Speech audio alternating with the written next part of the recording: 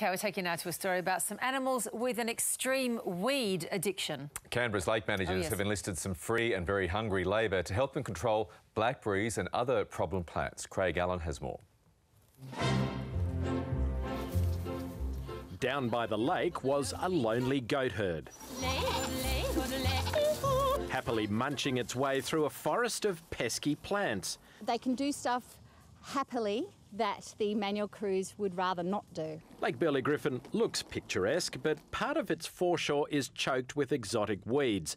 So the National Capital Authority decided to fight ferals with ferals. So the goats have come in, and what they love eating are the things we don't like keeping. So they love blackberries, they love arrowgrass, they love all of the things that get in the way of good conservation outcomes.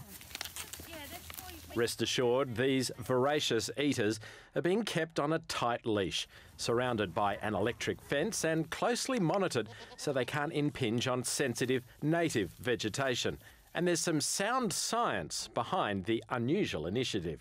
There are all kinds of advantages using goats. They're gentle on the soil, they recycle the biomass, bring it back into the soil.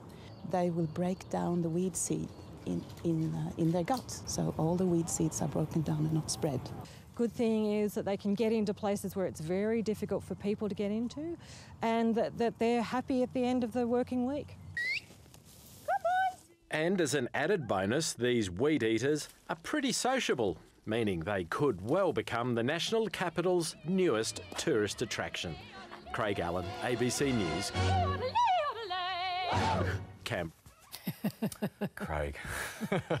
He seemed to enjoy it. yes. Yes, he a did. bit too much. Yeah, well, you know, you take it where you can get it. Did you hear the tra- the traditional the traditional goat calling cry there? Yes. In his report, I, a friend of mine um, raise still does raises goats, and I heard her doing this cry. I thought.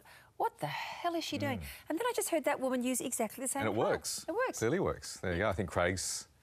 It's, it's a bit He's of practicing it, a, it's is a, Yeah, it's a bit of a mating call. And I didn't mean how that came out. Yes, you did. That's exactly how you meant it, my friend. Hello, Craig. How are you? Uh, let's go to finance news now, shall we?